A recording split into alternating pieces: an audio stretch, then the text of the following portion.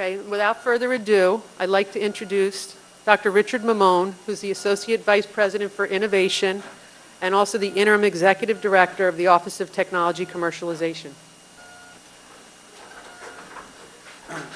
Uh, thank you, Lori, uh, especially for taking care of the, the meanness uh, factor, the cell phone. Uh, uh, I'd like to welcome everyone on behalf of Rutgers University and UMDNJ to this event, which is really dedicated to, to, the support of the medical device industry within New Jersey. I think it was Michael Porter, the Harvard professor of business, who first coined the word business cluster. And if you look at the, the Harvard business cluster map, uh, New Jersey is not only a, a cluster for uh, biopharma, which we all you know, would understand, but also for medical devices. So it's really our intention today to bring together all the different uh, constituent parts of the medical device industry and try to energize that cluster and that uh, ecosystem. The, um, the innovation uh, ecosystem basically combines talent, capital, and knowledge to create new products. So sometimes uh, it's called a cluster or a uh, ecosystem. The idea is to create more economic impact. So increasing jobs, increasing profits, uh, increasing the quality of jobs. And that, that's our, our goal here. Uh, the ecosystem uh, has many component parts. Some are the pu uh, public sector, such as education, regulatory bodies, and tax incentives and things like that, which we have representatives here today to discuss. And also the private sector, which have things like, um, you know, uh, contract research organizations, contract research manufacturers, uh, distributors, suppliers, and the like. So we're fortunate uh, today to have representatives from all these different uh, aspects here who are going to present uh, their views on these different issues. Uh, first up on, on the list is our keynote speaker, Harlan Weisman, Dr. Harlan Weisman. Harlan uh, is a unique uh, speaker on this issue because he cuts across, he started in academia, went to industry, and now he's in government. So he cuts across all the three major sectors. Uh, Harlan was um, a professor in Johns Hopkins University School of Medicine initially, then at J&J uh, he was the chief science and technology officer of the medical devices and diagnostics. He was also the uh, president of J&J Pharmaceutical R&D and uh, Transform uh, Pharmaceuticals. He's the president of uh, and currently he's uh, on the board of uh, governors of the uh, Congressional uh, Patent Protection, uh, Patient Protection and Affordability Care Act of 2010. So without further ado, I'd like to welcome Harlan to the podium.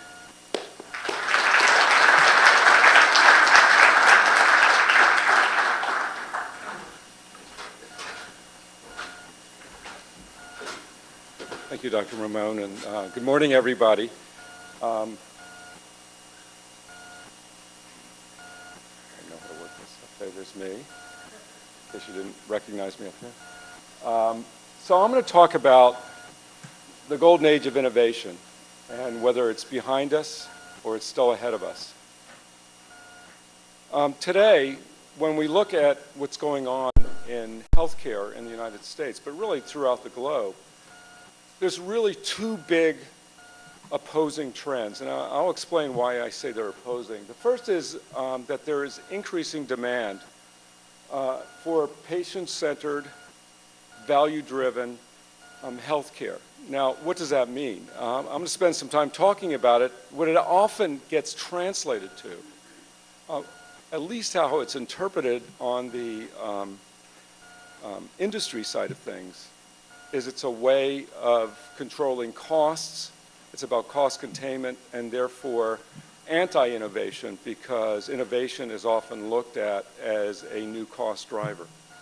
Um, but that isn't what it's intended to mean. And I think um, if uh, we can move things along in uh, what's being called um, the innovation ecosystem in the United States, we can find that we really can get to a patient-centered value-driven um, and science-driven um, healthcare system which provides value for all the stakeholders.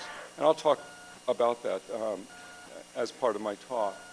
The other thing that's happening, and on the very exciting side of things, um, is that there's really been explosive growth um, in what we know um, in science and in biomedicine, in biology, um, in molecular biology, um, engineering, and um, that these advances are uh, bringing forward many new exciting technologies on the pharmaceutical side, on the device side, and the diagnostic side. So on the one hand, we have all these things that we can harness to bring to healthcare, to improve the lives of people who are suffering from disease or people who are at risk of developing disease. Yet today, these things are viewed as new and expensive, and in fact, they are expensive because they're very costly to develop, and increasingly, um, the, the risk of developing them is becoming um, so high that in some fields, um, such as regenerative medicine, people are, are actually backing away from it. But again, I don't want to be pessimistic. It is this balance, and I'm very optimistic, in fact, that, that over time, by bringing stakeholders together, we can actually make this ecosystem work again. So I've pretty much drawn this map, this map of um, where we are today in the innovation ecosystem, borrowing from Charles Dickens. Um, it is the best of times. There's a lot of things to look forward to in terms of what we can do in innovation in healthcare and in healthcare products and in healthcare services. But I've already touched on the fact that it's also the worst of times. We're seeing a lot of things drying up in this country. It's the age of wisdom, but it's the age of foolishness. It's the epoch of belief. It's the epoch of incredulity. It's the season of light. It's the season of darkness. It's the spring of hope. It's the winter of despair. And, you know, through this talk and maybe through our panel discussion, we can discuss how we can move everything over to the left side of these bullets. Um, this is just a picture of um, the medical device industry today, and the pie diagram, if you can see it, um, pretty bright up there. I don't know if there's a way of just dimming right where the slides are. Um, there, you know, I looked at lots and lots of surveys and other things going on, but they're pretty consistent with the idea that today in the United States, the medical device market is over $100 billion. So it's a, you know, this is a healthy market. Um, in the United States, um, on a per capita basis, um, we're number three in the term of the use of uh, medical devices. Two countries, smaller European countries, but in fact, economically, um, perhaps more vibrant economies um, are ahead of us, Denmark and Switzerland.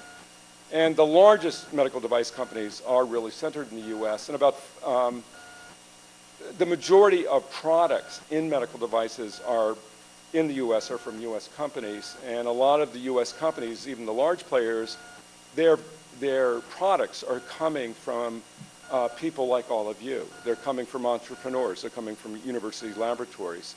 Um, the question is, how can we facilitate that flow um, to keep it going?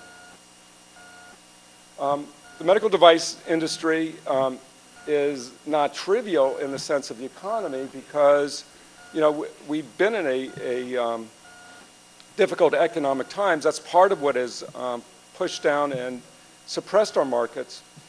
Um, but innovation helps drive the economy. It helps drive jobs. You can see, um, and these numbers are a little old. They're um, from, I think, 2007, 2008. 350,000 employees in the medical device industry, um, accounting for about $20 billion in salaries. So if you, you know, that's a, a significant chunk of money to um, help drive the economy. And I already mentioned that the market size is over $100 billion. Um, each medical technology job is estimated to generate 4.5 additional jobs, and they're high-paying jobs when they exist. Um, this is just a snapshot of, of, and it's pretty complicated, and I, I don't want you to look at the details, but it's the idea that there are different pathways, and, and uh, one of our panelists from the FDA uh, may speak about changes in these pathways to bringing um, devices and diagnostics forward from the idea to um, the invention stage, the early conce- concept phase, where we're trying to prove proof of concept, through development, to the extent development is necessary, all the way to commercialization and life cycle management of products once they're in the market. Um, depending on the device or diagnostic, um, and depending on its regulatory pathway, it can be anywhere from around three months to many years. And, you know, I've illustrated up there the 510K pathway, which are for um, products that are viewed as, um, from a safety standpoint, as less, uh, less risky in terms of um, safety issues and which have a track record relative to previous products. Um, to um, their pre-market authorizations or PMAs, which are more complicated processes. These can take many years and involve clinical trials and more complex manufacturing.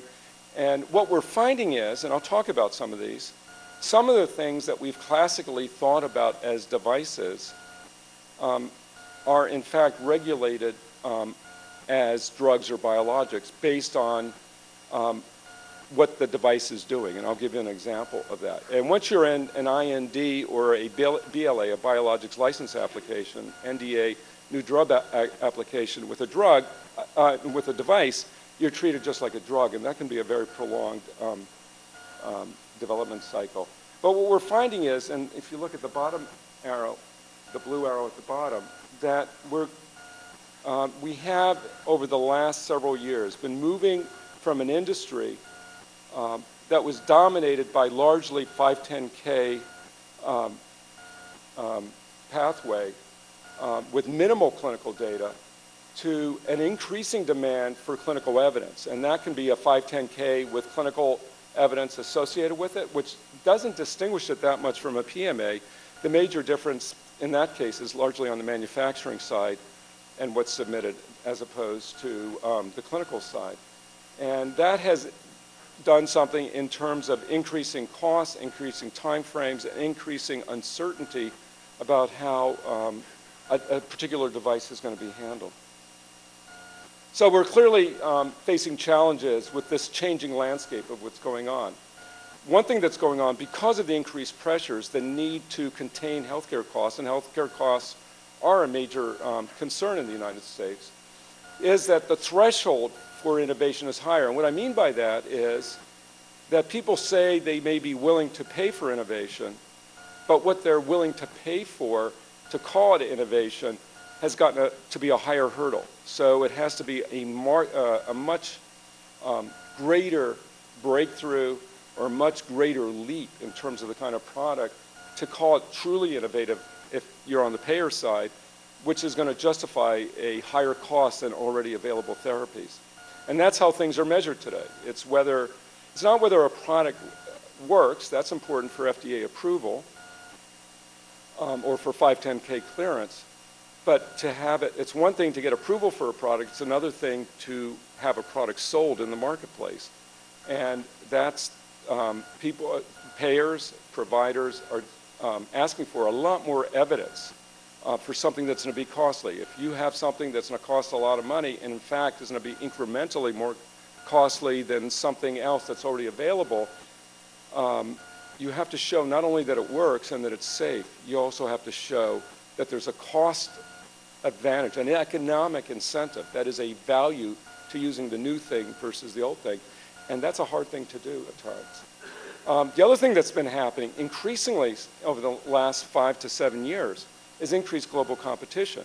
Um, we used to think about China as being a low-cost, low-quality um, developer of products and only developing Me Too products. What we're finding today is that they are lower cost, but they're high quality. They're the quality of some Chinese and uh, products made in India and other parts of the developing world are offering the same quality as products um, that originate in the United States um, but at a lower cost. So that's a real challenge. And uh, the other thing that's a challenge, if you're a, a, entrepreneur and you're developing a product, is your patent situation. In medical devices, um, it's very common to have a device come out with good patents around it, but within a year have several other devices that are very similar or diagnostics that are very similar, but are not in uh, violating the first product's um, patent situation. So that's, that can be a challenge. There's clearly pr- uh, pricing pressures.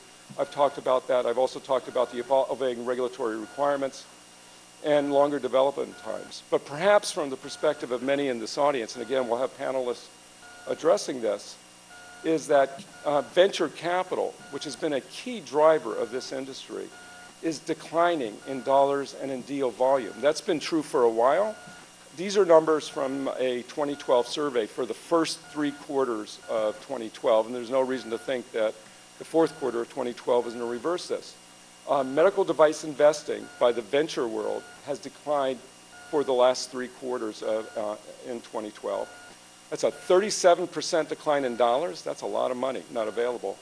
And a 20% decline in deal volume. So we're seeing less deals being funded, and the ones that are being funded are being funded with less money. Um, $434 million went to just 65 companies. This is the lowest dollar level of investment since 2004. Again, well, well uh, I'll touch on this a little more, but I'm sure people on our panel will speak even more to this and what can be done about this and what you all can do to um, overcome this as a challenge. Even though we're facing this challenging, um, changing landscape, there are opportunities for us. We have not cured all diseases. In fact, not only have we not cured them, there are many conditions that uh, where treatments are available that the treatments are inadequate. In addition, we're facing an, an, increasingly aging population across the globe in many markets, including the US. Number two in, in the world in terms of market size is Japan. Um, China, an increasing, um, um, growing, popu uh, aging population. So we're seeing that with age, and I can attest that this is really true. With age comes ailments and um, and things that need treatment. And this is a real opportunity because there's a much larger population out there that will be in need. So there are many unmet medical needs, you know, and, one, um, and, and many of them can be addressed in the medical device and diagnostics arena, including things like diabetes, um, obesity, cancer, um, arthritis, um, and cardiovascular disease. Those are the big five um, chronic diseases, and when you think about the big five chronic diseases and why they're important, one is that they're recurring healthcare costs. So the same patient, the cost doesn't go away when, you, when they come to the doctor. They keep seeing the doctor or they keep having to be rehospitalized. And they, it accounts, these chronic diseases account for about 70% of healthcare costs in the United States. So if we can approach these with new therapies that are really effective, even if they're a little more expensive, um, we can reduce overall healthcare costs. Um, and I've, I've, touched on many of these um, other um, um, areas. But what we are seeing, and I, I mentioned the um, developing world, we are seeing the developing world developing. And China, which is still a developing world, is the number two economy in the U.S. So on an economic grounds, it is not a developing country. Uh, but if you go there, you can see that it's still a developing country. They're learning a lot of new things. And uh, this is true. So, and with rising uh, gross domestic product, with urbanization, which is occurring in the developing market, we're seeing expanded healthcare coverage by these countries, which is increasing their costs, but it's also increasing opportunities uh, for medical devices and diagnostics. It's a great opportunity. And one thing I would encourage people to do, because you're going to be competing with them anyway, is to think about your products not just from a U.S. perspective, but also from a global perspective, particularly in the developing markets. Because what's happening is we're seeing very creative, very innovative um, people, engineers, scientists, physicians, um, business people, addressing medical needs in the developing world with solutions that are very creative, very effective, and at low cost, which easily can be translated and brought over to the United States. And we've seen that in a lot of areas already, you know, in x-ray equipment, for example. So it's something to keep in mind. If we're going to compete, it's not just competing in the U.S., it's competing with global competitors. So what it's going to take, how do we continue to create value in healthcare? You know, well, my belief, and I think it's shared by many, is that we got to continue to innovate. Despite the challenges we're facing, um, we need to innovate. In this country, the, um, it's very important, and I personally am worried about the consequences of the um, um, ecosystem in the United States, the innovation ecosystem, because the U.S.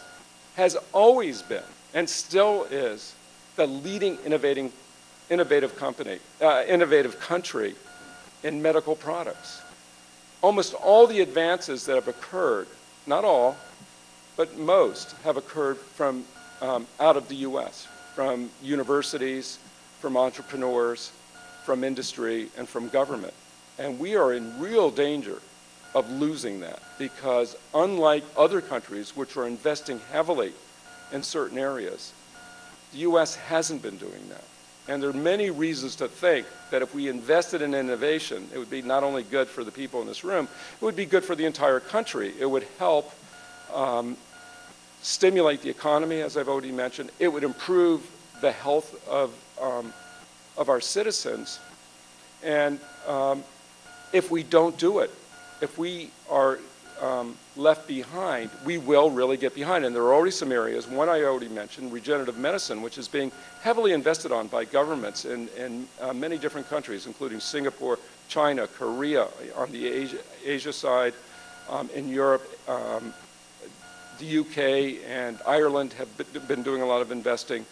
Um, Israel, there are lots of places, and these aren't just entrepreneurs and VCs. These are actual government interventions to stimulate research in an area like that, which is a high-risk area, which is probably beyond the means of any single company um, to approach. And I'm just using that as an example. We can come up with many other examples.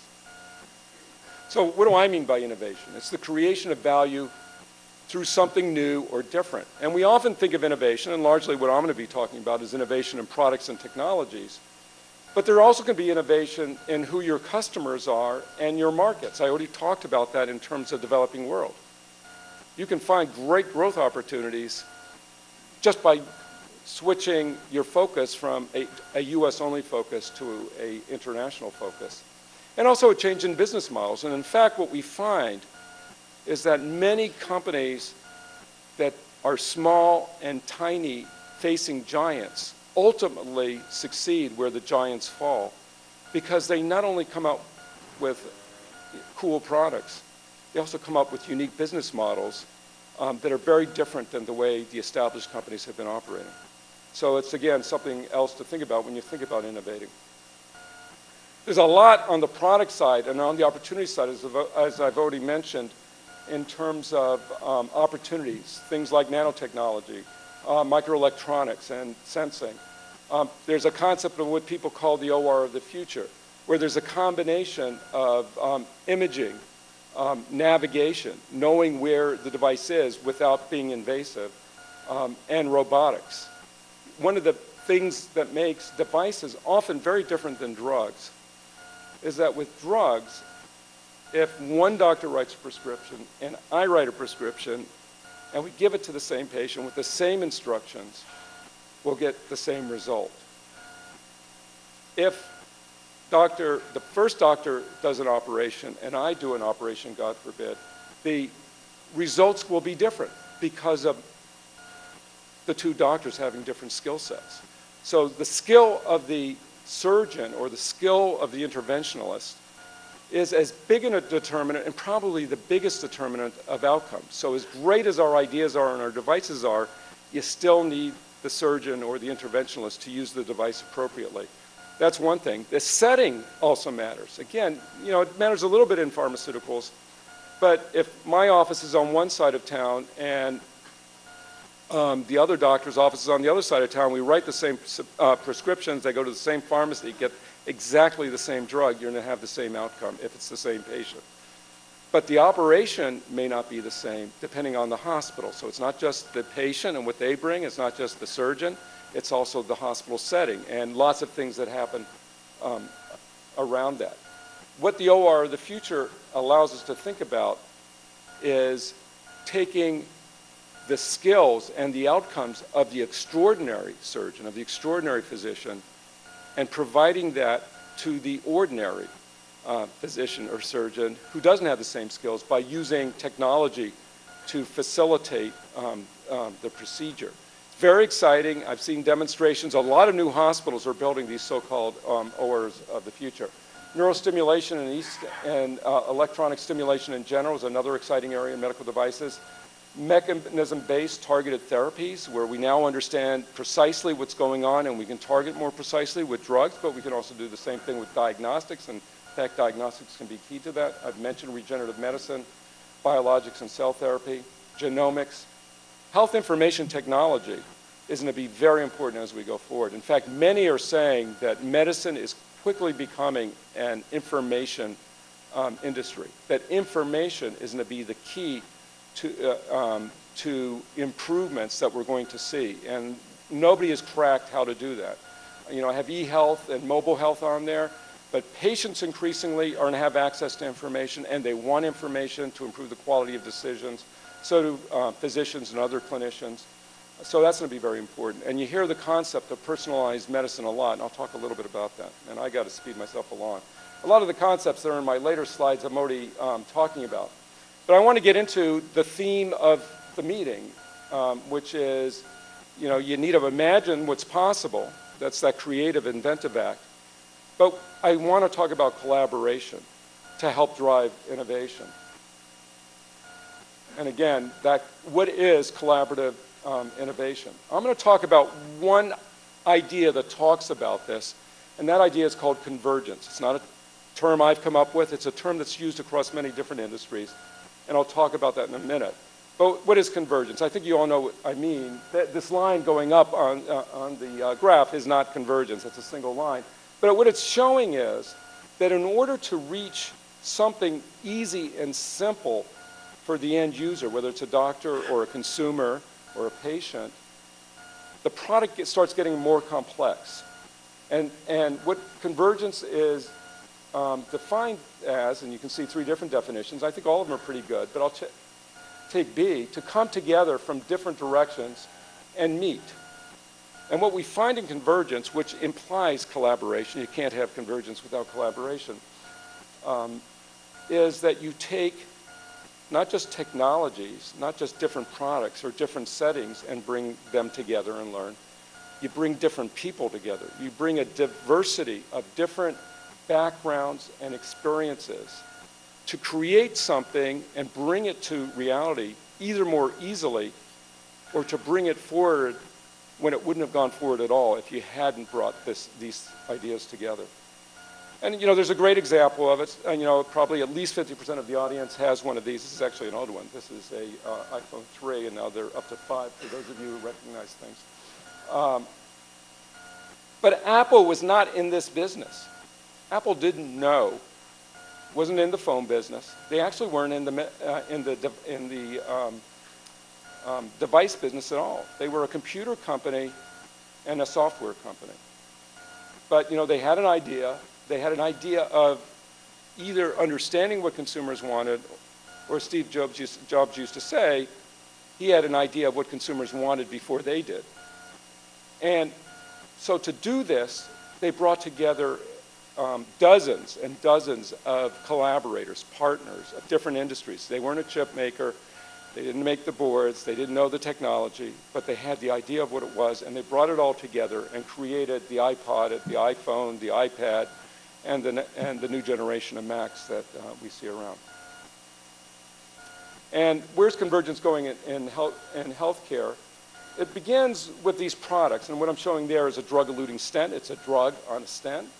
I'll talk a little bit about that. And systems that is combine, you know, going beyond a particular product to something that's helping doctors, patients, and others um, learn more, um, get educated, and help them get direction through websites, for example, and other kinds of e-health that help them with the devices. So it's, it's a more encompassing thing to this idea of a truly patient-centered outcome where the solution is what the patient needs, and it may be a combination of different things that you have to bring together, of which a device or a drug or a diagnostic may play a role, but there are a lot of other things that could be important in that.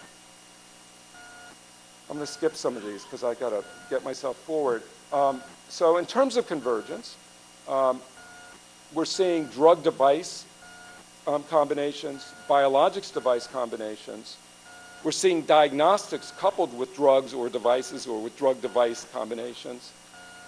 And we're seeing diagnostics used for personal, personalized medicine. And almost by nature, if you're talking about personalized medicine, is combining diagnostics information in a way that can be customized and made specific as possible for a unique individual, if that's what we mean by personalized medicine. It is almost by definition convergence and collaboration because you got to couple the diagnostic prognostic information with the therapeutic information. I think, again, our panelists may talk about that. These are just two examples from Johnson & Johnson's the Cypher stent, where the drug improves the device, and it was regulated as a device. Or here you see an auto-injector uh, for a product called Simponi that's used in arthritis and Crohn's disease and some other conditions, where a device is used to improve the biologic. This is a way a patient very easily can administer the drug themselves to themselves, and I can attest to this one. Not only was I part of the development of this, but unbeknownst to me when this product was under development, my wife is, uh, and unknown to her, my wife developed a condition that is requiring this. And she treats herself every um, several weeks with this device. I'm a doctor, she's not, but she does this on her own. She doesn't want me involved. Okay. Um, I'm um, going to skip through some of these, but I do want to talk about diagnostics. Um, diagnostics can be used in predicting who's going to get sick, um, in selecting the appropriate treatment, in the management of patients, in screening of patients who may be at risk or identifying higher risk patients, and in diagnosis. They are very important, and diagnostics, very interestingly, although they're used at least 70 to 80 percent of the time in help in being critical in the treatment management of a patient or um, in helping somebody manage their risks, it, they contribute today only about 2% of total healthcare costs. The biggest challenge with diagnostics from an innovator's standpoint is nobody wants to pay, everybody wants them and nobody wants to pay for them. Um, so they don't, they, they're not getting um, in return the value they're delivering. Um, and I think we're going to talk about some of these things in the molecular diagnostics and other things, so I'm not going to spend uh, time on these. This is an example of a cellular diagnostic that was developed by Johnson & Johnson to help in, in uh, selecting specific treatment um, for cancer patients. Um, this is another example of combining a biologic with, um, with a um, device. It, um, traditionally, hemostasis, that is hemostatics, that things that stop bleeding, it was um, gauze pads and things like that, and the hand, compression. Uh, we now have uh, biologics that are active that don't only rely, bleeding doesn't stop just because something mechanical is done. It's because you add something, in this case proteins, uh, like thrombin or fibrin or fibrinogen or all three, um, that help seal. And that's just a direct application of the biologic. And now, and this is being done by Ethicon um, in, um, or uh, in, at Johnson & Johnson, is adding a biologic to something that looks sort of like a gauze or, or a pad, a matrix, a synthetic matrix, with a protein on it that leads to a dramatic reduction or control of bleeding compared to the old stuff. This is a um, drug, uh, this is a biologic device combination. The actual mechanical thing is the device. Um, but it's regulated as a, as a biologic. And therefore, what was needed to get it um, through the approval process were the things you have to do with a biologic approval. And we're going to see that increasingly. This is about um, improvements related to regenerative medicine. Um, the problem with convergence and collaboration is it's not easy to do. It requires higher funding and resources, um, which means that pull, tries to pull people away from what they're already doing. Um, so they're often under-resourced. Um, and they add risk to the base business if you have other things you're doing and you pull them into convergence, um, into collaboration, um, you're pulling those resources away from what they're typically doing when they're doing one thing, and that, that provides some risk. They also require unique skills and uh, knowledge and technologies, but it really, the secret to this is collaboration it means aligned incentives for all the people who are working together. And that's, it's easier said than done. I know that from experience. So what does it take? You need to have a good product development strategy. It means having the right people, the right place, but um, you have to have excellence as we traditionally have in um, devices in engineering, biology, chemistry, biologics, perhaps, and clinical development. But you know, the new things are clinical development. We need more clinicals today, regulatory things, course, manufacturing, but also today, because of the value equation, you just got to start thinking about what are the health economic um, consequences of what I'm doing that will help drive um, reimbursement. So this idea of value creation is uh, really important. Um, all the stakeholders in healthcare, and that includes patients, the public, um, but also regulators, payers, physicians, other clinicians, hospitals, um, are asking for more evidence that something works. They're not willing to just say, cool device, the surgeon wants to use it, it's used. That was the old model. Cool idea by the engineer, um, the, with the, working with the surgeon, working with the physician, and they got it approved in a couple years. That doesn't happen anymore. People want to know, if they're paying for it, they want to know, why should I use this rather than that? Even if the surgeon isn't asking that question, and we're fortunate to have a, um, a um, hospital um, CEO here, they're asking that question. What is the value? Should we pay for it?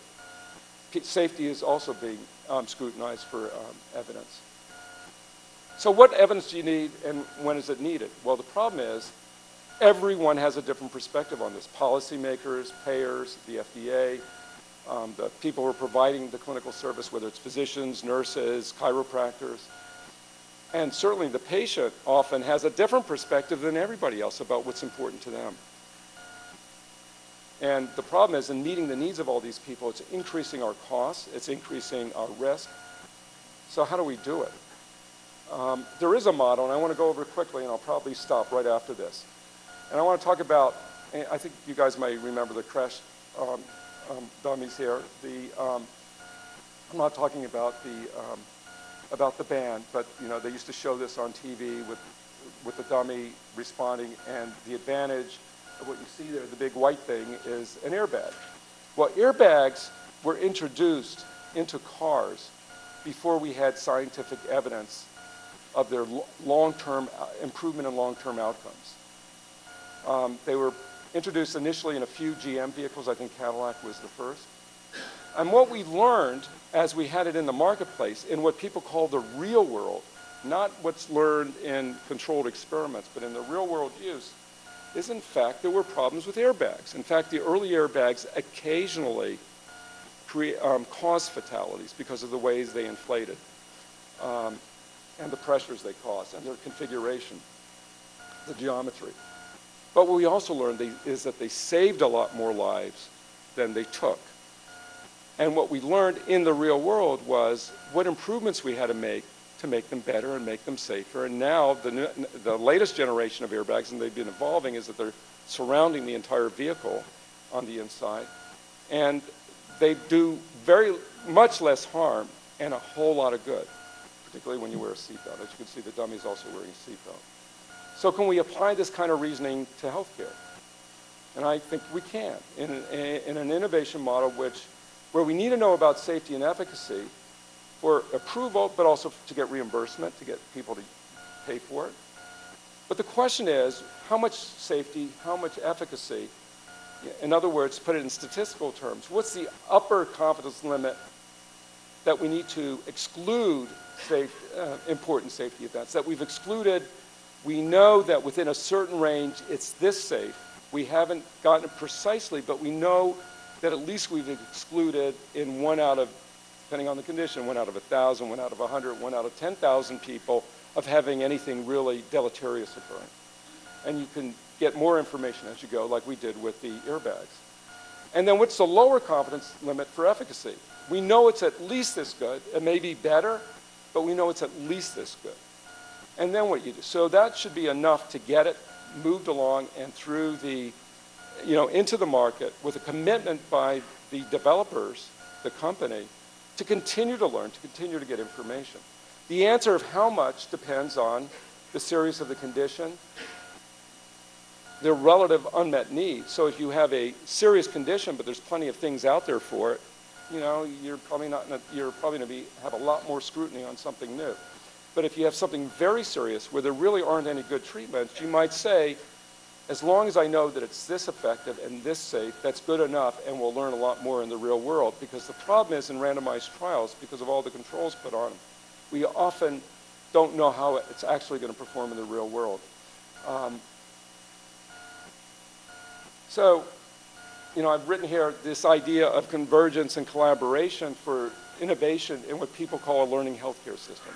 And that's where everybody, rather than pointing fingers at each other about what's wrong, which is what happens today, work together with the patient in the middle. Um, pay, um, that means clinicians, it means the, the other providers, the hospital systems, and industry regulators, policymakers. So this is, you know, the ideal of what we can strive for. it's not easy, but what it does mean, I'm going to go to my very last slide, um, is that we need to see collaboration across traditional boundaries. It's difficult, it's much easier not to collaborate, but the payoff is much greater if you do. So we need collaboration within universities. I used to be in a university. I know collaborations in the same department is sometimes hard. Between universities, within companies, it's hard within companies across boundaries, and between companies, with, and all of them, the companies, the universities, others, working with government agencies. We'll hear about how you can do that with FDA, with payers, and with patients, with hospitals, to get a freer flow of ideas, people, and money across traditional boundaries so that we can innovate and really see the possibilities that are in front of us. And if we can collaborate together, not only in the products, but also in the healthcare system, we, I truly believe we can continue to drive innovation, but also, because we're making improvements, bring down um, healthcare um, costs. Thank you. So what?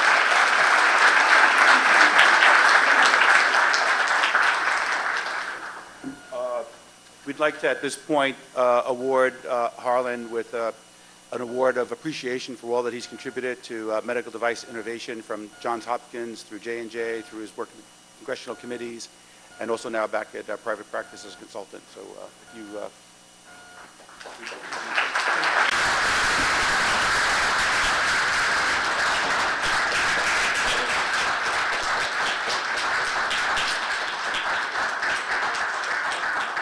And if I could ask the panelists to come on stage. No good deed goes unpunished, so Harlan is moderate. First thing I'd like to do, and I'm very excited to have this panel, first question to each of the panelists, although they have their name tags here, it's hard for you to uh, read it out there, is if you could each say, you know, who you are and what you do, and um, in a, maybe in a sentence or two, why innovation is important to you, or, or the uh, evolving innovation um, um, environment that we, uh, ecosystem that we want to change. So why don't I start here? So uh, I'm Bob DiPaola, uh, and I appreciate uh, the invite to come, to come here. I think this is very important.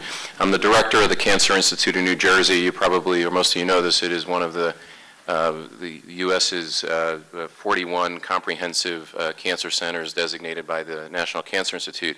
Uh, And thi- and this effort, and this program, uh, and certainly, um, you know, moving forward is important because, you know, we do this all the time. I mean, we have on one end of the center multidisciplinary clinics where we're seeing patients, on the other end, research activities, uh, and really engage in this translational activity of applying the research technologies toward the patient. So obviously, medical devices is included as well as the therapeutics. So anyway, look forward to.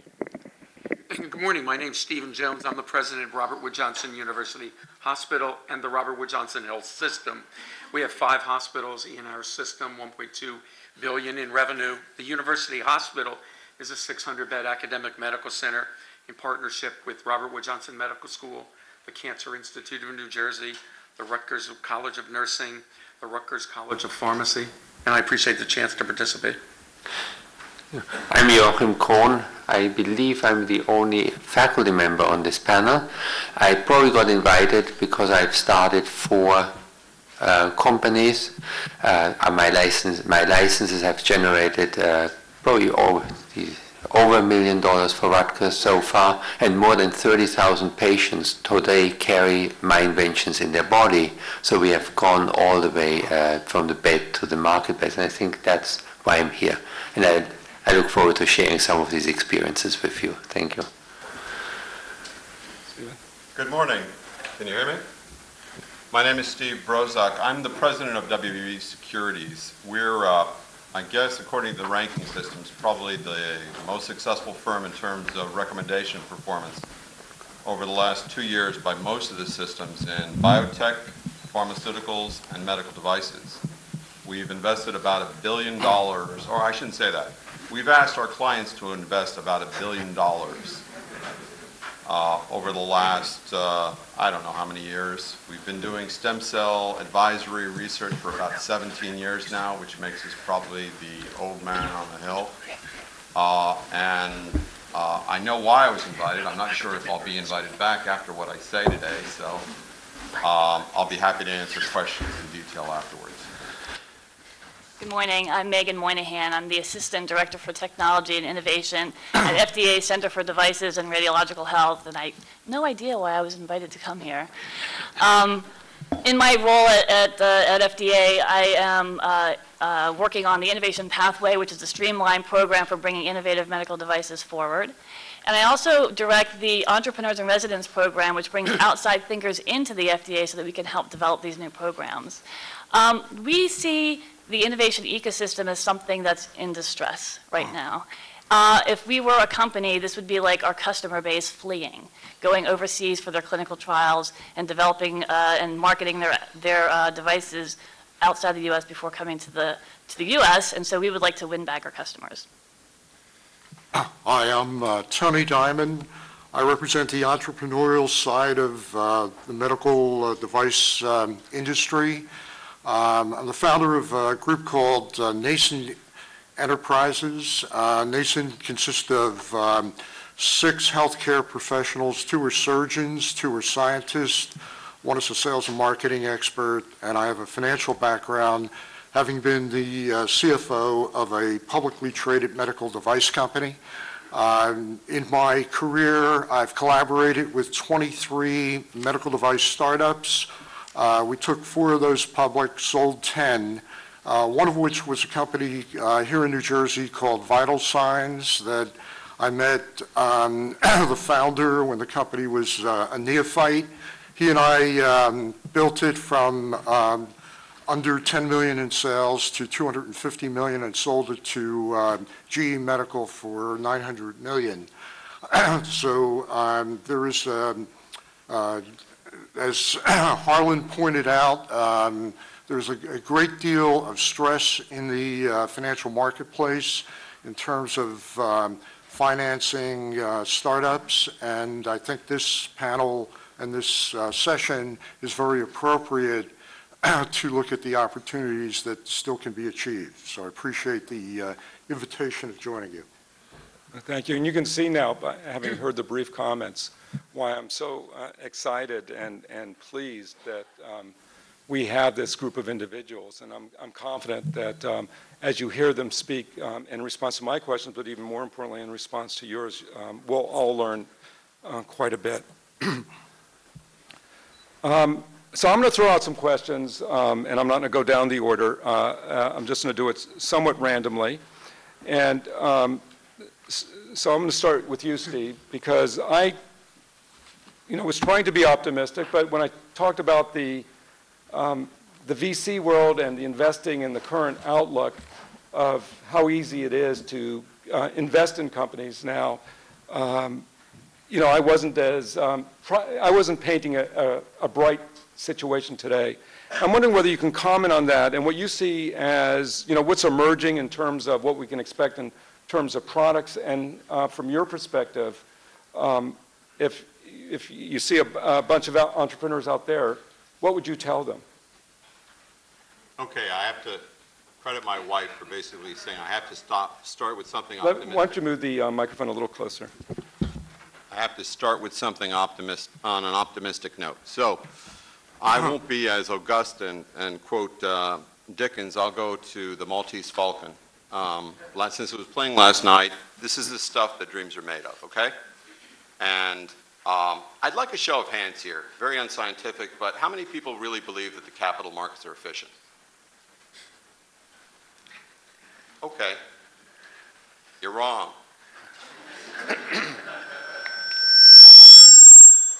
Wow, looks like someone from Wall Street uh, is paying attention to me here. Um, no, what we believe are, and why we can say this is, they actually do respond to incentives. That circle that you saw there, all were different incentives. The questions are, how do you change those incentives to make sure that you get the proper outcome? How do you make sure that a large medical device company makes the correct decision, not for that short-term earnings per share goal, but to actually get out a device that in the long run is going to make them much, much more money, but in the short run is going to take time to basically provide for uh, uh, adoption by the medical community, by the clinicians, and by the patients. How do you achieve that? Because what you've got now is a situation where the incentivization process is working remarkably well. Bankers get paid to do deals. But I'll tell you, between all the VCs, the private equity people, the capital markets, here's what they all want. They want something that's going to provide them with a 10 bagger, 10 times their money. They want it to basically be pretty much risk free. Oh, yeah, and they want profitability within a year. That universe is pretty much zero. Now, here's what you're seeing, and you always should follow the money. The money is being returned. Fund managers are going back out there and they're putting money back. Why? Because they can't invest enough. The other problem, the really, really good ideas, the really, really good projects are so small, they don't need hundreds of millions of dollars. In some cases, they don't even need tens of millions of dollars. They just need millions of dollars. And that's where we see things like the exciting part, serendipity, the breakthrough projects, that researcher that finds something that is counterintuitive and says, hey, why is this working this way? Wall Street doesn't understand that, and I'll let the next person speak on this note. About six weeks ago, I was asked to do an op-ed, okay? Why Wall Street is more important than any other segment, because we provide the incentives to go out there. The op-ed stated that if a company misses their earnings per share, that's more devastating than going out there and launching a product or whatever. I had five rewrites to try and explain what EPS was. Five rewrites. Number six, I said, no, no longer. There's a disconnect. And as long as we have that disconnect to Wall Street, there are going to be some problems. By the end of this discussion, I'd like to tell you what I think a solution might be. Thank, thank you. Um, certainly food for thought about what we can do to um, fix, fix our ecosystem. Um, Dr. Kohn, you're somebody who um, is not only a faculty member, but a, a successful entrepreneur. Um, could you give your, your perspective on, you know, given the opportunities we face now that I talked about and um, in terms of the aging population, the many baby boomers who are reaching retirement or well into retirement, and all the many unmet medical needs, um, all the great technologies we can tap into. How do you do it? You've been successful. What, what would you say to this group? Uh, thank you. Um, the, I, think, uh, I think when I look around, the, uh, the single most important medical need is defined by the fact that our ability to live longer has outpaced our ability to live healthy lives. So too many of us end up with debilitating um, ailments that can be as primitive as urinary incontinence, devastates your uh, quality of life, yet could be treated by a 30 milligram muscle replacement. Um, all the way to macular degeneration, blindness, uh, Alzheimer. Uh, so what I think is our, our uh, we are trying to Medical, traditional medical technology has extended our lifespan, and now regenerative medicine and innovations in uh, medical practice have to provide us with uh, the increased quality of life, so the the lifespan can be used productively. Now, um, uh, when we go, when we think about uh, the uh, the marketplace, however, I want to mention that the second important qualifier for this line of products that you can envision that help us increase our quality of life. Uh, there has to be a premium on cheap rather than innovative. we, I think uh, you don't have to be a prophet to understand that we are probably here in the United States move rapidly into a system like the managed care system in, in uh, Great Britain, whereby that, where you have annual budgets for certain operations, especially elective surgeries, and by October, or if, if you're unlucky by July, the budget is expended, and you have to wait till next budget year to get your elective surgery because there's just no money to do it. Now, in that kind of environment, a premium will be paid for effective therapies that cut costs, not necessarily innovative therapies that cost a lot. So these are the two points I, I thought I want to contribute to this question. Thank you. So, um, Megan, you, you said why were you, you wondered why you were invited, and um, I'll tell you why. I've, I've done panels similar to this in the past, and the first couple, there was nobody from FDA there, and it becomes a really very aligned panel um, because everyone is saying, well, if you fix the FDA, things would be a lot better.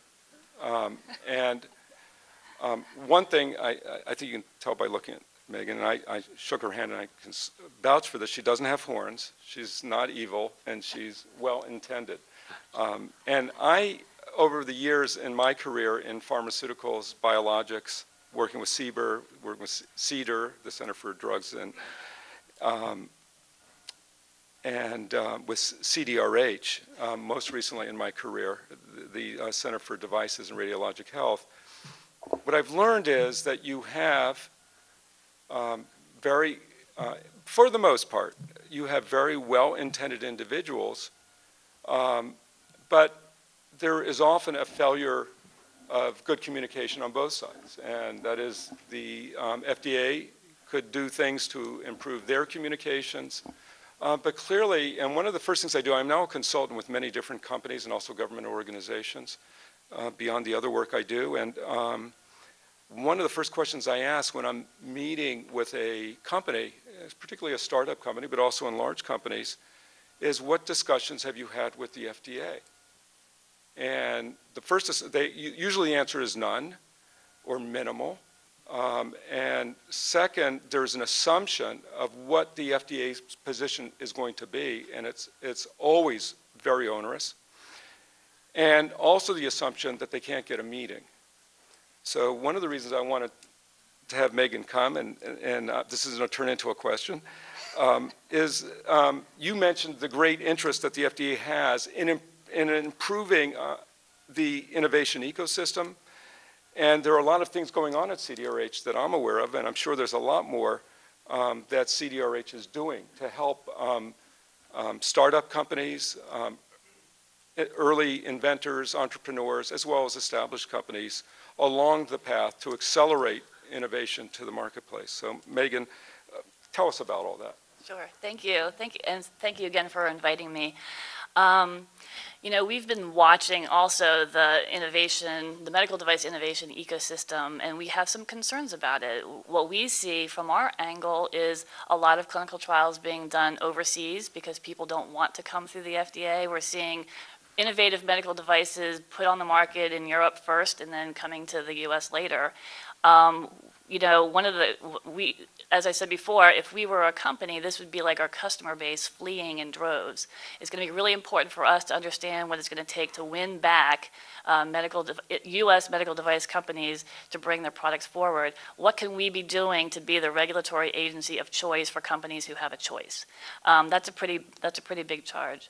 Um, So, you know, one way to think about uh, the FDA is if you can think about us in two ways. One is we really do have to have almost a production line model for moving medical applications through. You have to kind of demand of the FDA that it become a better factory, okay? That we are more consistent and that we are more predictable so that you can plug and play us into your business plan with, uh, you know, some assurance about, uh, you know, how long things are going to take and the approximate outcome that you're going to get. So I think it's okay that we think of the FDA as a, a little bit of a factory um, and that you demand better performance from, from us. Some of the laws that were recently put into place through FDASIA um, that were signed uh, back in July are things that are going to help us improve our consistency and predictability in, in our overall performance. But uh, you also have to demand of the FDA to be the kind of uh, place where you can have almost concierge level service for people who are struggling to understand the basics. Um, you know, it's fine that we can process 95% of our applications very rapidly through, but for that game changer that comes along, that, that innovative medical device that has the potential to address an unmet public health need, something that changes the game for science for us, or maybe brings in a new clinical um, trials paradigm, or maybe sort of breaks the mold of our, our, our, our usual regulatory thinking, we need a special process to handle those kinds of things. So the Innovation Pathway program that I'm developing is intended to be that. It's intended to be the special program where we just say out loud, okay, we're going to treat some companies differently. We're going to give them a different level of service because they are innovative, because they're going to address an unmet public health need, and that's important to us. So we're trying to build both models. We're trying to um, we're trying to get the factory model better. We process 10,000 pre-market applications a year, so we have to get better and more consistent. Uh, we also have to uh, look at the problem differently. It's not just about FDA pedaling faster on the inside. Okay, it's about looking at the total time that it takes to get from concept to commercialization and trying to figure out where are the points of engagement where FDA has an impact on the total time, and where do, can we just have some influence over that ecosystem. So it's a combination of what can we actually do in our own business processes internally, what can we do to influence the overall ecosystem, um, Innovation Pathway is, is intended to, to do that. So we have three companies right now moving on this newly built, what we call Innovation Pathway, where our goals are to um, shorten the total time it takes from concept to commercialization for their products, and also to transform the experience of what it's like for innovators and FDA working together. We're trying to create a one-team model where everyone sees themselves aiming toward the same goal where the adversarial approach is sort of broken down. We have a lot of tools that we put into place to, to facilitate that. Um, so uh, those are the kinds of things that we're doing. We're doing it in conjunction with our entrepreneurs and residents, bringing outside people in to help us think about the problem differently. So you can hope to see uh, some some cultural shifting on the inside as well as some pragmatic, practical changes in our overall regulations and goals. Thank you, Megan. Harlan, uh, can I chime in for a second on the FDA? Uh, I had a recent experience. I've been in the healthcare field for over 30 years, and recently, one of the companies that I'm working with, actually here at Rutgers, was uh, confronted with a serious question of survival if they had to do a long clinical trial. So we appealed to the FDA to see if there was an accelerated path through a 510K, and remarkably, the FDA came back to us and gave us two, what are known as predicates, to be able to accelerate the process to the marketplace. So to me, it was a very refreshing experience that I thought everyone should hear of, and I congratulate my uh, friend here, Megan, for being part of that uh, new thought process.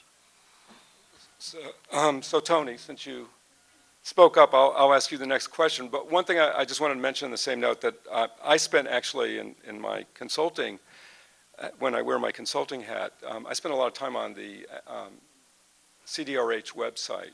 Um, and uh, any of you out there, how many of you have gone to the, the website recently, not, not historically? So there are a few of you.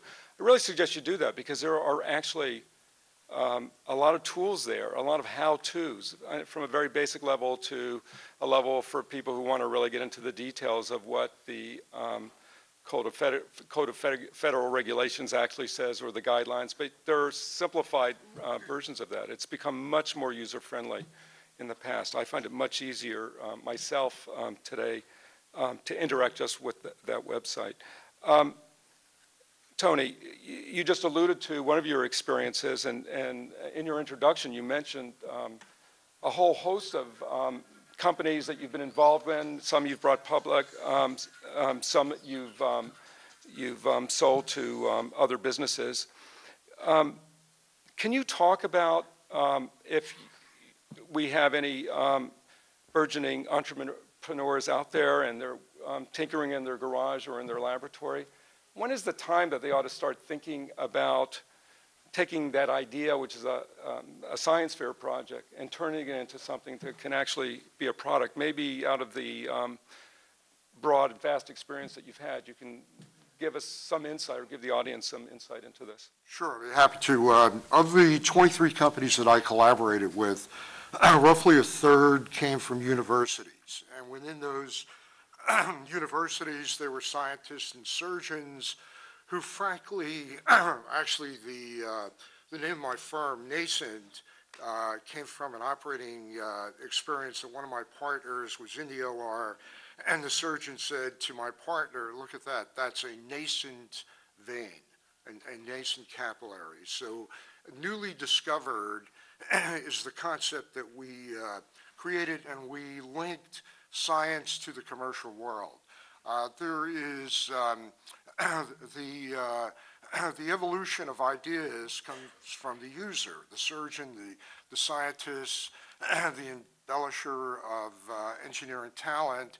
And what I find at the university level is if the university can uh, encourage creation, creative ideas and bring those creative ideas to the marketplace, the critical issue is survival. How do you survive? How do you come from a concept to uh, ultimately a good product for the marketplace? It has to be a collaboration, and I think this is the theme that you pointed out, Harlan, a collaboration between science and industry. I'll give you a small example. At NYU, uh, there's a surgeon and a um, PhD physicist who have created a very innovative approach uh, for a knee implant that will essentially delay the need for a total knee. And the other interesting part about this invention is it could be done by sports medicine surgeons very quickly rather than reconstruction surgeons over a longer period of time and much ch- more cheaply. Uh, but they couldn't get a venture firm to give them 10 seconds of time, couldn't find investors, and the idea was stalled. So the, the encouragement that we uh, created with the, uh, the team at NYU was to look for an industry partner. And we found one that actually was launching a, uh, or, or increasing their sports medicine orthopedic capacity. So the marriage between industry and science and university and finance helped to get this product into the marketplace. Uh, The ideas that are um, here at Rutgers, I've worked with uh, Dr. Kohn on, uh, in his Biomaterials Institute. The collaboration that he's done with industry is brilliant. So what I, uh, what needs to be done is to, to connect a science team with a experienced commercial team. That, that's critical because anybody who's going to write a check to under, to fund that project wants to know that the team has done this once before or multiple times before. Also, the beginning of an idea needs to be linked to the exit of the idea. So you don't wait five years to find a buyer. My, my advice is to create the idea with the end user in mind. Who will want to use, who would want to have this new idea? Johnson Johnson, Zimmer, GE Medical. Think through the exit as you begin the entrance. That's a, uh, I think, a, uh, a very important element. Thank you. Um, You know, during my presentation toward the um, end, I sped through a lot uh, of what I was going to say about um, diagnostics, and particularly around um, the concept of um, personalized health, um, targeted health, precision health, because I um, was not only out of time, I was borrowing time from this panel, but most importantly, I knew that uh, Bob DiPaola was here and could do a far better job than I could to talk about the subject of personalized health. Could you, um, Bob, even define what that means and, and what you see as the promise and perhaps the challenges of pers- personalized medicine or precision medicine? You know, abs- absolutely, and I- agree with you. Very, very important, um, and even, you know, I think uh, this is a, personalized medicine, and I can tell you at the Cancer Institute, we call it precision medicine, um, uh, and I know it's being coined that way in a- in a number of different places. um, you know, is really trying to get at the heart of how we make therapies more effective in, in all aspects, in terms of in cancer, obviously, uh, trying to deal with their disease, in terms of prevention, uh, identifying uh, individuals that might uh, have strategies in terms of prevention differently than a different individual, um, and using um, all of the resources that we have in technology applied to that.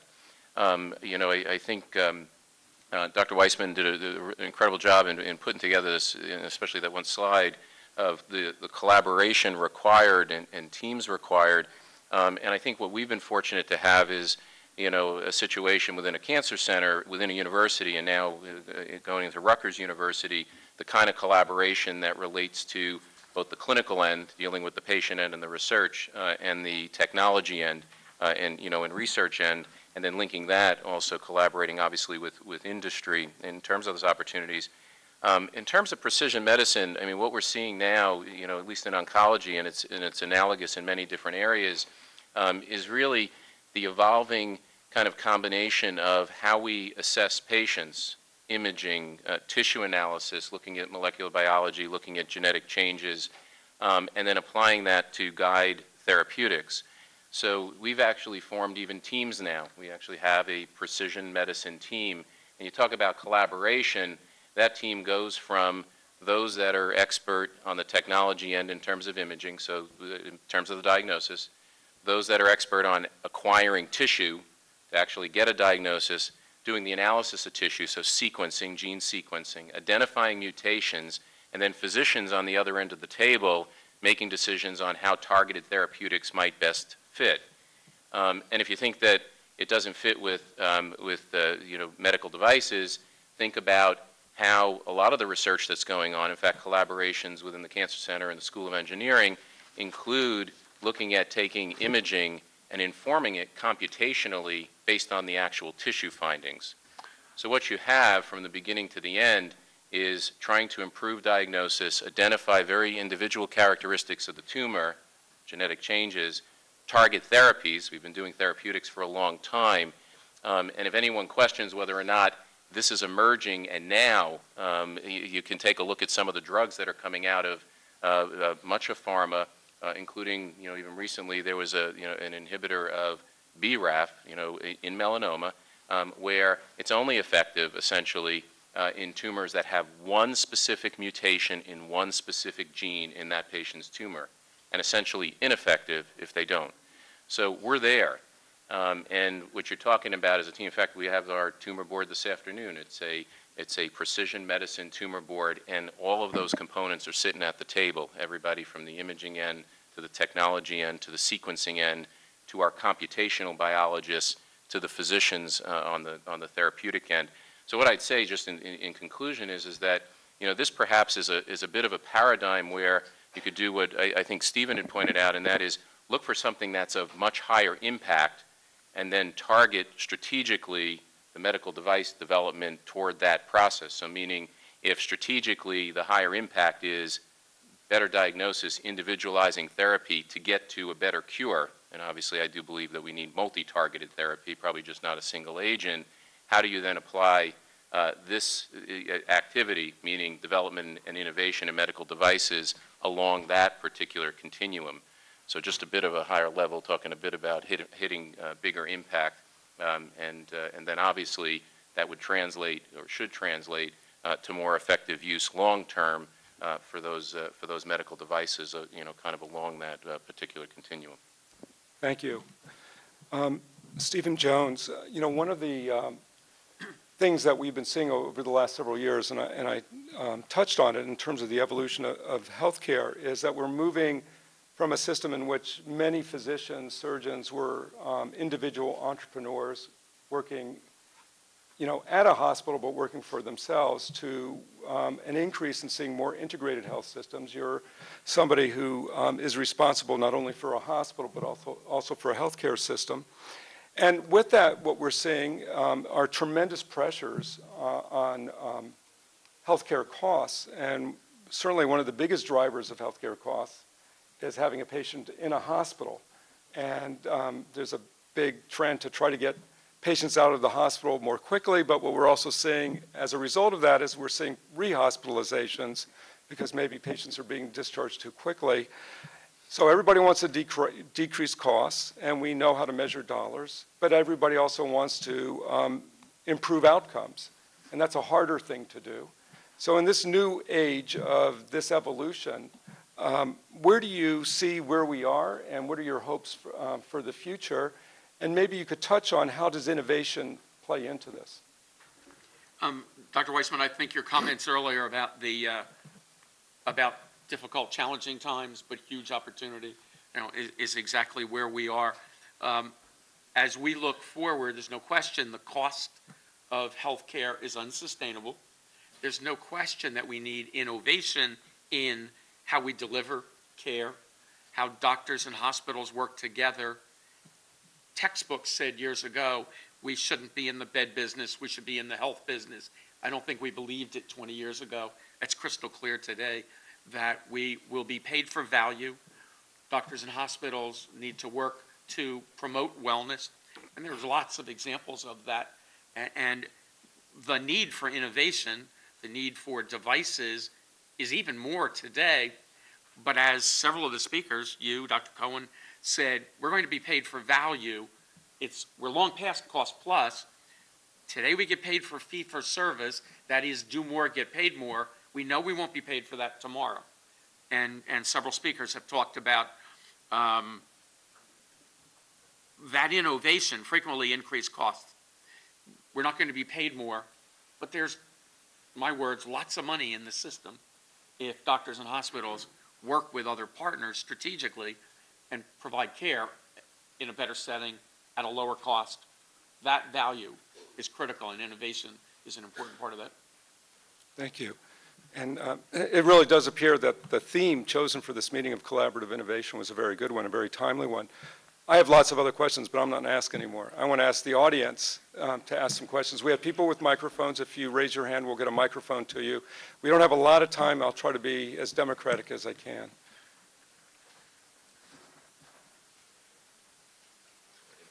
Back all the way. And there's also one up here in front. Yeah. I came a few minutes late, so I apologize if it was addressed already, but I'm interested in hearing the panel's opinion on the impending excise tax and what impact that's going to have on innovation and even potential strategies.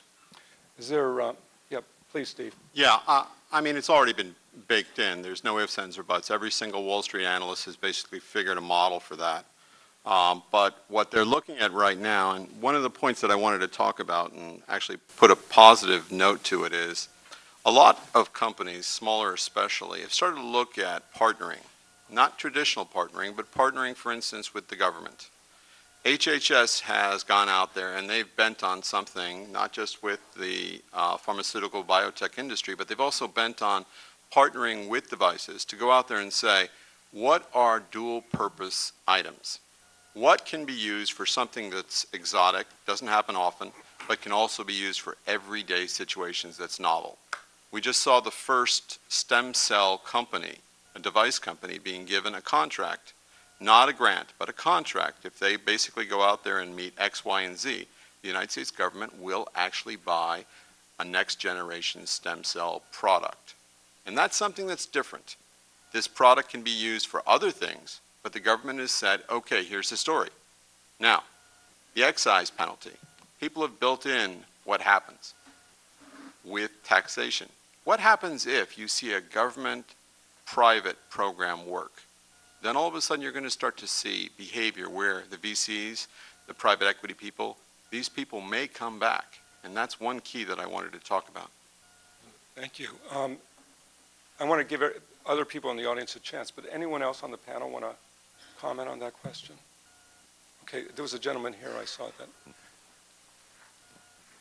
I follow the intellectual property side when you talk about the glo globalization and um, the, most of the countries at this point in time are members of the PCT, uh, Patent Cooperation Treaty members, and in principle, they are supposed to abide by the rules of PCT and supposed to honor the patents.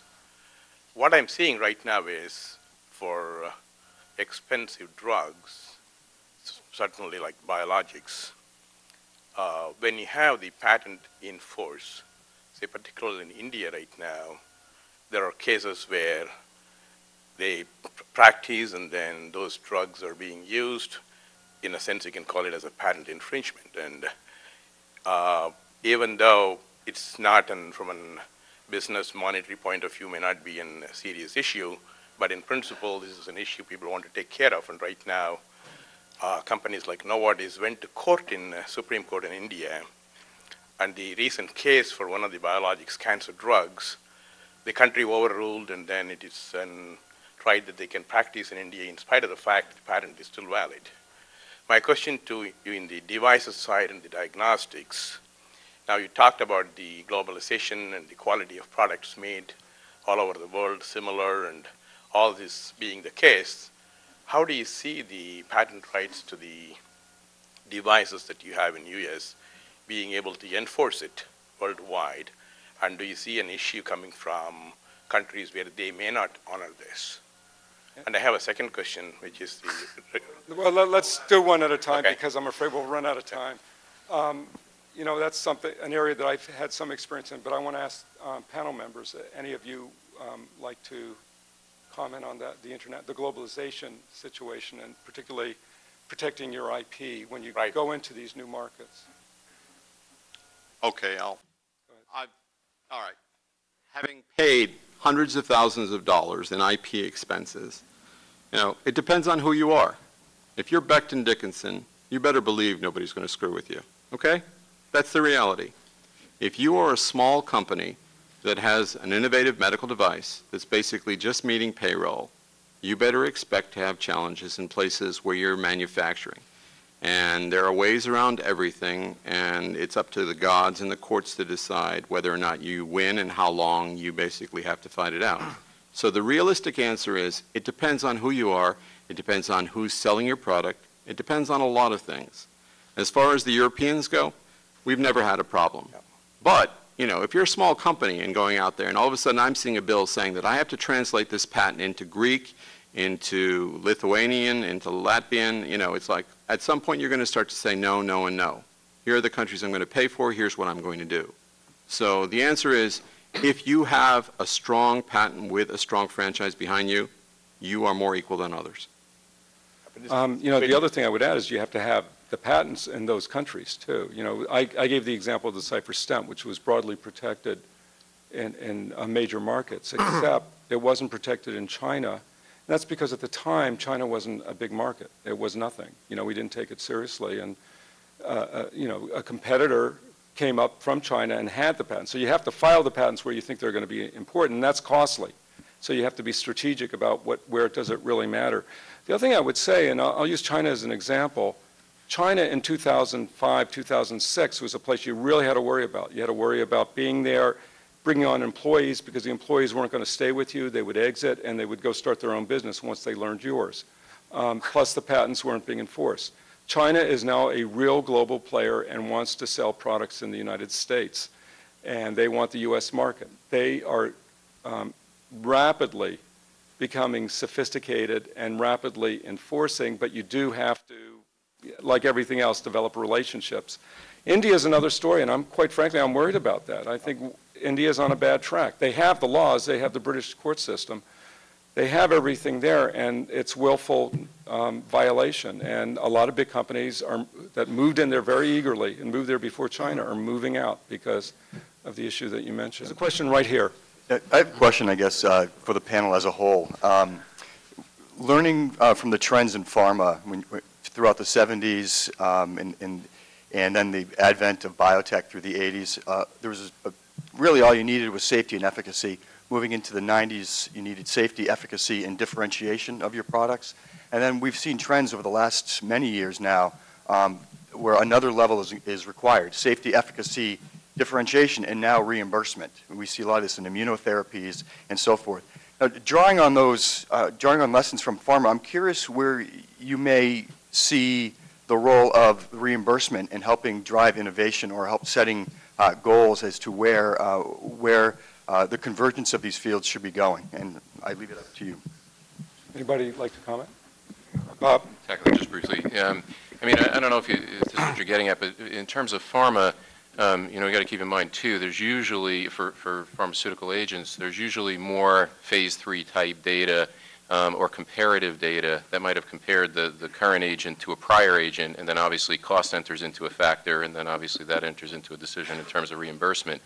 I think probably what we need to do, certainly in medical devices, is pay a, a more attention to the data that's accumulated at, at the point of kind of the, the, the preclinical development phase, the clinical phase, because usually there is less of that robust comparative data comes out later, and then obviously costs are compared. And there are ways to do that, meaning pay more attention to the data that's out there, Bayesian uh, statistical, uh, you know, type models and so forth. So I think that we're going to have to be more rigorous in terms of that kind of clinical research concept to look at those data and think in terms of at some point it's going to be compared to another standard device and say which costs more, and then think in terms of reimbursement. So I don't know if that helps. Thank you. Anybody else in the panel? Sure, I'd like to comment. I think the role of reimbursement will be um, very important as we go forward. Look at, look at some past decisions uh, when uh, PET scanning, positron emission tomography, um, it wasn't paid for by Medicare. It was only a research tool. Then Medicare decided we'll pay for it clinically, so hospitals adopted that technology. Look at um, a great career field used to be physical therapy. Uh, we could never get enough. Um, they could make a whole lot of money. And then CMS said, it's too many home care physical therapy visits. We'll cut them by a third. The jobs went away, the care went away. As we go forward, I've said there won't be more money in the system. There'll be a whole lot yet less as they pay for value. So what gets paid for, how those decisions are made, the device companies and the biopharma companies that will go to CMS and and uh, develop reimbursement for their product in advance. When you go to 5,000 hospitals, we've already gotten it paid for. The, with the stents, lots of device companies did those sorts of things. Um, I don't think it'll be easy, but I think that'll be a real important uh, impact. We certainly recognize that there's a, a close relationship that has to happen um, from FDA working with its CMS, you know, sister agency in Health and Human Services. Um, this year, our Entrepreneurs in Residence program, one of the projects is how can they make that that that relate that pathway more smoothly. We're going to be deconstructing the problem of getting reimbursement along with um, FDA approval. Our three companies that are currently moving down the innovation pathway, they've all asked for uh, sort of an audience with CMS, and so we're taking them there so we can understand how how they interact. Because the the key here is to make sure that the evidence that they're collecting is going to support decisions made both for approval and also for reimbursement. Any other panelists? Yeah, actually, I, uh, there's a, a real-world example, Cyberonics, a vagus nerve stimulation company. They implant a box, and it works for refractory epilepsy. And they went out there trying to get uh, refractory depression, devastating, devastating indication. CMS said no. Now they're going to have four publications by the time this year is over, basically saying, guess what? If you looked at these refractory patients, how much money are you spending taking care of them? All of a sudden now you're going to have a re-challenge saying, look, Here's the cost effectiveness. So you've got a situation, everybody knows phase one, phase two, phase three, but there's also phase four, which the FDA requires you to go out there and say, what happens afterwards? And what happens afterwards here can be very different. And when they have that body of data, that's something where the medical device industry can look at the pharmaceutical industry and say, yes, we now do have a body of data and we do want to go out there and do it better, faster, cheaper. Okay, so we're, I'm, I'm sorry, I know there are a lot of questions, and we, we could go on for a long time, but we are going to have to wrap it up. I just wanted to comment on, on the last question. There was a game plan, a, a, um, um, a, a, that was learned along the way by the various stakeholders on controlling costs that led to some disincentives, as, as Steve pointed out, uh, along the way during pharma. And that all played, all the things you mentioned played out over several years from building in safety, um, more clinical um, efficacy and effectiveness data to health economics and reimbursement strategies. Pharma was not there in the early 90s. By the end of the 90s, they were well on their way to getting there. That doesn't have to happen with medical devices now because they, they have the game plan. They know what they did then. I'm talking about some of the major payers they can just do it. Now, the problem with that is that devices aren't the same as drugs. I already mentioned that. But it's a, it's a real issue, but who owns it? I think that that's something, and I'm, I'm glad we um, talked about some of these things, that we as entrepreneurs, as inventors, creators, developers, investors, have to take this all into account as we go forward. And also work um, with payers and others to understand where they're coming from. I was just at a meeting on innovation in Washington two weeks ago. Payers were there. They're, I think Steve's point about getting the incentives right is vital. There right now is no incentive for payers to change their attitudes. They are the most profitable part of healthcare today, and unless we get them incented, we can't do that. Okay, we're done.